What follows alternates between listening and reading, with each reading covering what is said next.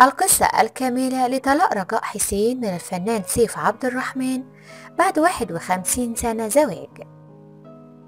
فاجأت الفنانة رجاء حسين الجمهور بإعلان انفصالها عن زوجها الفنان سيف عبد الرحمن حيث كشفت من خلال ظهورها في أحد البرامج الإعلامية أن الانفصال حدث بعد وفاة ابنهما كريم قبل سبع سنوات وذلك بعد 51 عام من الزواج. حيث تحدثت للمرة الأولى عن هذا الأمر. أكدت رجاء حسين أنها اتخذت قرار الانفصال عن زوجها سيف عبد الرحمن بعد وفاة ابنهما كريم وقالت في لقائها تحملت الحياة الزوجية بكل ما فيها من متاعب وصعوبات لمدة 51 عاما واللي كنت خايفة عليه راح خلاص مضيفة. أنا تحملت كل شيء من أجل الأولاد لأن المرأة العاقلة تهتم بأسرتها وتضعها في المقام الأول قبل قلبها. شددت رجاء حسين على أن علاقتها بطليقها الفنان سيف عبد الرحمن جيدة ووصفته بالرجل الطيب والمحترم. حتى عندما تزوج امرأة أخرى هي على تواصل معها ومقربة لها وأكدت أن سيف لم ينجب إلا أولادهما الشهيد كريم وأمل. والشاب الذي توفى قبل فترة قصيرة هو أحمد ابن زوجته حيث أوضحت ذلك بعدما اختلط الأمر على الجمهور بأن الذي توقف مؤخرا هو ابنها. تحدثت الفنانة رجاء حسين عن طليقتها وقالت إنها تتواصل معها ومقربة لها وقالت صاحبتي قوي ومثقفة ومحترمة ومن أحب الناس إلي وشددت رجاء على أن علاقتها بطليقها علاقة جيدة ووصفت المخرجة دينا واصف زوجة الفنان سيف عبد الرحمن وقالت الفنانة رجاء حسين ماما رجاء وكشفت أنها تعتبرها أم لأولادها ولم تتركها بعد وفاة ابنها مؤخرا في حادث وأنها أحبتها بعد زواجها من سيف.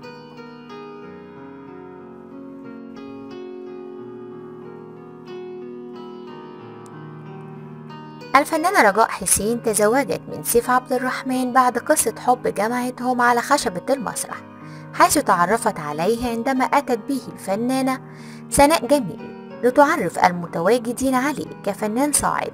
بعدها اعتزلت اعترفت لها بإعجابها به من قبل أن يلتقيا حتى تكللت قصة حبهما بالزواج وأنجب طفليهما كريم وأمل رغم زواج رجاء حسين وسيف عبد الرحمن الذي استمر سنوات عديدة ونجح الطرفان كلا في مجاله إلا أن حياتهما الزوجية لم تكن مثالية حيث تحدثت رجاء في أحد لقاءاتها التلفزيونية عن تجاهل علاقات الفنان سيف عبد الرحمن العابرة ولفتت إلى خيانته لها أكثر من مرة وأن هذه طبيعته قبل ارتباطهما لكنها أرادت أن تحافظ على أولادها وبيتها.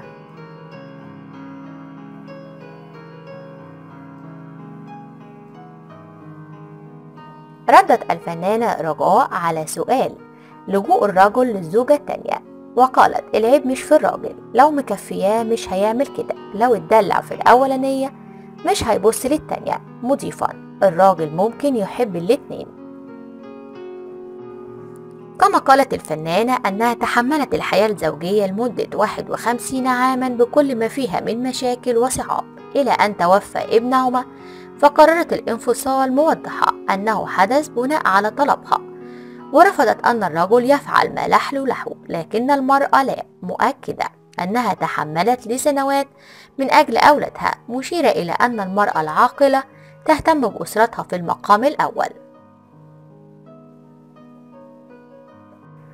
جدير بالذكر أن الفنانة رجاء من مواليد عام 1937 انضمت إلى فرقة نجيب الريحاني المسرحية عام 1958 وعملت في السينما والتلفزيون منذ مطلع الستينات.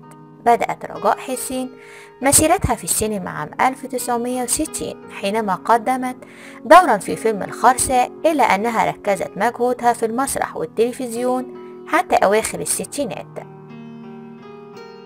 ترى رجاء حسين أن الفن في الستينات وعصر عبد الناصر ازدهر بشكل لم يحدث فيما بعد وأعاد المخرج الراحل يوسف شاهين اكتشاف الفنانة رجاء حسين من خلال تقديمها في فيلم العصفور وهو الدور الذي قالت عنه فيما بعد أنا حبيته جدا وذلك بجانب تقديمها دورا في فيلم عودة الابن الضال وقدمت العديد من الأدوار المتميزة. رغم نجاحها في الأدوار التي قدمتها مع المخرج يوسف شاهين إلا أنها قدمت الأدوار السينمائية معه فيما بعد بما فيها فيلم المهاجر وقالت إن يوسف شاهين أناني وعايز الممثل يبقى له لوحده لأنه كان يريد التمثيل. في عام 2012 تناقلت الشائعات عن ضرب وسحل الفنانة رجاء حسين في المملكة العربية السعودية أثناء تواجدها هناك لأداء مناسك العمرة فيما نفت هي ذلك. وقالت سافرت الأداء مناسك العمرة في المملكة وتمت معاملتي بكل الود والرقي. واتهمت الفنانة رجاء حسين الفنان الشاب محمد رمضان بأنه السبب في تعليم جيل كامل من الشباب البلطجة. مؤكدة أن ما وصل إليه الآن هو النقيض تماما خاصة أنه في بداياته الفنية كان شابا على خلق ويحرص على الصلاة بانتظام. قالت الفنانة رجاء حسين أنها جسدت في مسلسل المال والبنون دور الأم التي كادت تفقد ابنها فعندما ذهب ابنها الذي أدى دوره الفنان شريف منير للجيش ثم وجدته أمامها فجأة لم تستطع أن تسيطر على إحساسها رغم أن الرقابة التلفزيونية كانت تمنع أي مشاهد تتضمن أحضانا بين رجل وامرأة حتى لو كانت داخل أحداث الفيلم.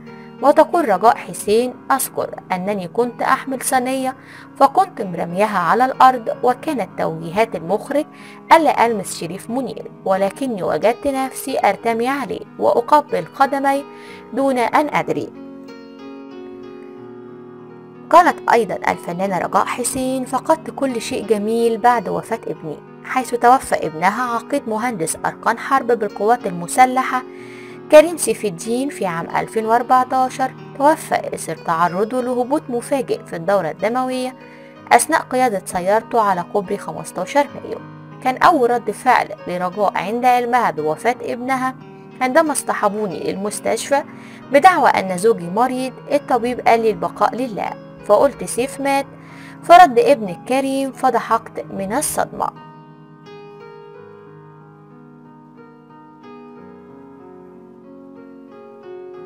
تمنت الفنانة رجاء حسين أن تقف على خشبة المسرح قبل ما تموت. وقالت عندما سئلت ما أمنيتك؟ فقال نفسي أقف على المسرح قبل ما أموت ومش لاقية نص كويس.